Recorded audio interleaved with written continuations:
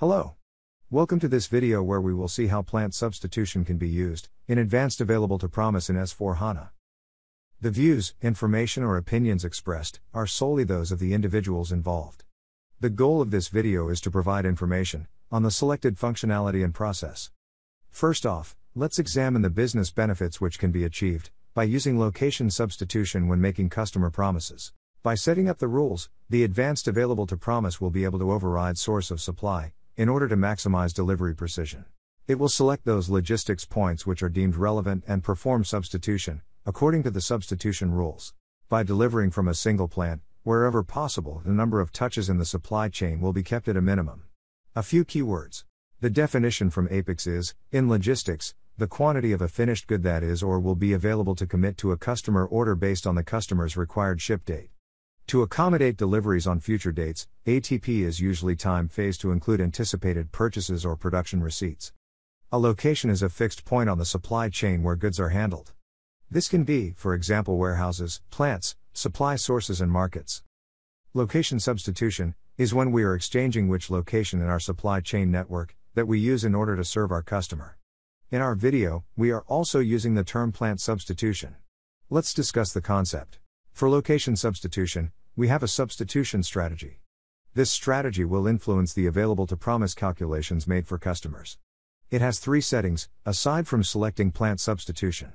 First, we have the substitution item type, where we have three options. Force inline substitution means that the sales order will contain a single requirement item, where the plant will be substituted. Force subitem generation means a subitem will be created for each material plant combination, which is used to fulfill the requirement. The originally requested requirement item is still visible in the sales order. Allow inline substitution and subitem generation makes the system choose the optimum solution based on stock availability in the potentially relevant delivering plants. If one plant can fulfill the requirement, an inline substitution is possible, else subitems will be generated. Second, we see what alternative checks should be performed. Always mean that alternatives are determined every time availability is checked, for all requirements. Depends on execution context, means that you can set which processing status will allow checks for an alternative plant. Third, we set the alternative determination. Full underscore confirmation aims to confirm the requested quantity fully.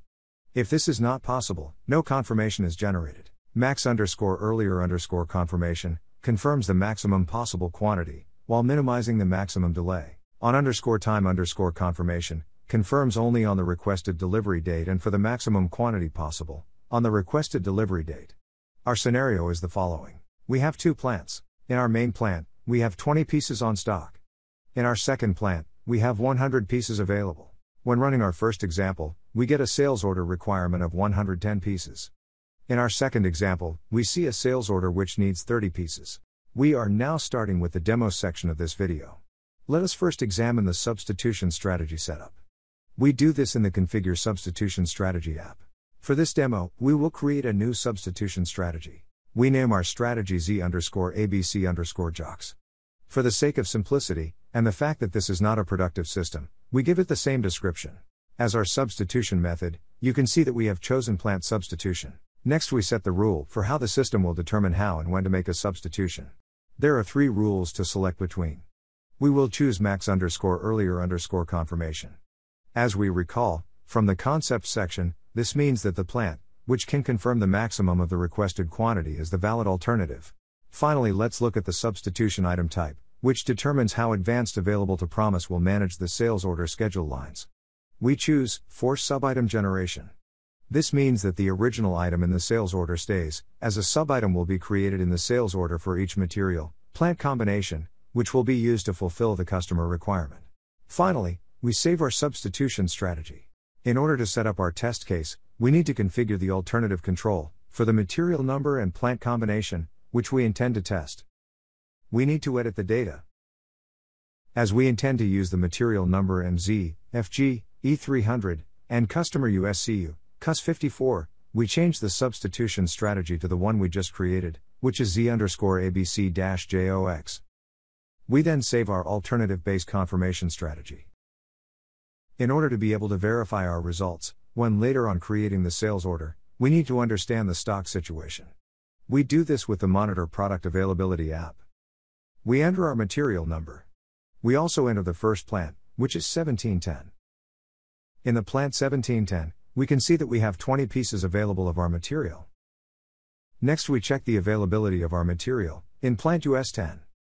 In the plant US 10, we can see that we have 100 pieces available of our material. Our last step is to create a sales order, for us to see what happens during the availability check. We do this by using the Manage Sales Order app. Next, we select Create Sales Order. And then check order type and organizational data and choose Continue. The customer number is entered into the sold to party field, and the customer reference number is also added. We add our material number, MZ, FG, E300. And we select the quantity 110. As a reminder, Plant 1710 had 20 pieces, and Plant US 10 had 110 pieces. You see that 110 pieces have been confirmed. It is also possible to review the details behind the customer promise. In the details, it becomes clear which plant is sending what quantity, and the dates which the customer has been promised. Back, looking at the sales order, we can see that two new lines have been included in the sales order in order to keep the history from where we initially had the customer requirement, together with one line for the actual promise from each plant. Now we create another sales order, but with a different quantity. We enter the same customer number as the sold to party. We also add the customer reference number. MZ, FG, E300 is still the material we sell, and this time we are selling 30 pieces. The availability check is now changed delivering plant, as the original plant only had 20 pieces available, so that the customer will receive only one delivery from us. And similarly, you see two lines, one with original requirement, and one from the plant which will now deliver to the customer. The functionality shown in this video, regarding advanced available to promise, is available in S4 HANA, both cloud and on premise versions, as a separate item. Let us complete this video by repeating the benefits of using location substitution in advanced available to promise. By setting up the rules, the advanced available to promise will be able to override source of supply, in order to maximize delivery precision. It will select those logistics points which are deemed relevant and perform substitution, according to the substitution rules. By delivering from a single plant, wherever possible, the number of touches in the supply chain will be kept at a minimum. Thanks a lot for watching. Please comment, like, and subscribe. More videos like this coming shortly. See you then.